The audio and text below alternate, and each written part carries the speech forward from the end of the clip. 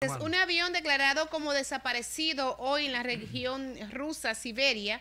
Fueron hallados con vida todos, gracias a Dios. Esa era una ave Oh, que tuvo que realizar un aterrizaje de emergencia, Eso. pero eh, los pasajeros, eh, 17 personas que iban a bordo, fueron encontradas con vida. Esas son de las noticias buenas, positivas, que también hay que decir porque no se convirtió en tragedia, aunque Oh, hubo un gran susto. ¿Tú sabes lo que es la Siberia? Es la parte, una de los zon- las zonas más frías de este planeta.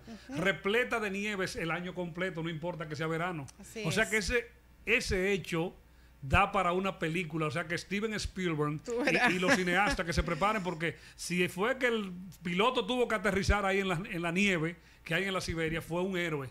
Al estilo como este que aterrizó en el Hudson eh, en el río Hudson, ¿se acuerda? Que las palomas penetraron a las turbinas, que hay hasta una película de eso. El caso de JetBlue, era de JetBlue el avión, ¿te acuerdas? Hace unos 8, 9, 10 años. ¿Cuántas quejas que siguen con esa compañía, eh? Ay, JetBlue, Hablando tú de ella, justamente. Ay, Dios, cuántas quejas con JetBlue. Ya nos vamos, Charito, el tiempo se nos fue. ¿Qué tenemos por ahí? Mm, que... Yo quiero que pongamos lo de Ramón Orlando de, de nuevo. No, Me ha no, cogido pero, con pero eso. déjame ponerte nota de voz, Alberto, Sí, primero. lo de Ramón Orlando solo dura menos de un minuto, ¿verdad? Tenemos nota de voz. Sí, dale, dale. Buenas tardes, Charo. José Mota, oigan. Pero yo también quiero un trabajito para allá. Ayúdenme a conseguirme un trabajito para Mira. allá. No somos nosotros, ¿eh? Yo también No, quiero irme para allá a trabajar. vamos a prometer. Sí. Aquí no hay nada. Vamos a prometer. haciendo, eh, eh, cociendo, haciendo chiripa aquí. Yo, esto está, está más está difícil. Vamos a prometer averiguar bien, no, no que vamos nosotros a prometer dar la visa. Nosotros no somos cónsules. Sí, para que no Sí, haya confusión. Sí, prometer hacer las indagatorias del lugar para ver cuál es el requisito y la vía para poder ir de, de visa de trabajo a Puerto Rico, que necesitan técnicos, constructores, albañiles, carpinteros, electricistas, ¿qué más? Pintores, pintores. Habrá que demostrar que usted es pintor, que usted, ¿verdad? Usted haya trabajado, que le den su... pintar en el consulado.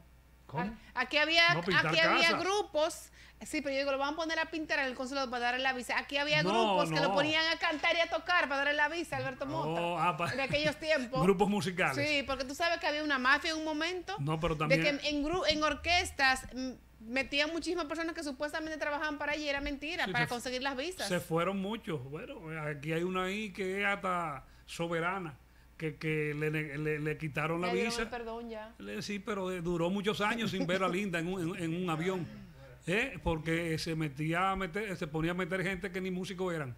Pero sí, Charito, hay formas. Si usted ha trabajado en varios lugares, le pueden dar una carta de que De usted. recomendación y re- de- de constancia, usted ¿verdad? pintó ese edificio, ese negocio, esa tienda, etcétera, etcétera, etcétera. Colombia enviará, enviará misión consular a Haití para dar asistencia a los militares. Colombia tiene Alberto eso. quiere poner otro poquito de Ramón Orlando y ya con ahí mismo entonces, señor director, nos vamos hasta el lunes si Dios lo permite. Bye, bye. Carlito, Ramón Orlando. Algo bueno, que es que los cibaeños, gracias a Dios por los cibaeños, esos son los verdaderos dominicanos. Ajá. Y sí, ¿Por qué? Los de aquí son americanos, italianos, franceses. ¿Y por qué los ibaeños son los Tú no verdaderos? estás viendo que aquí en la capital no quieren tocar la música típica.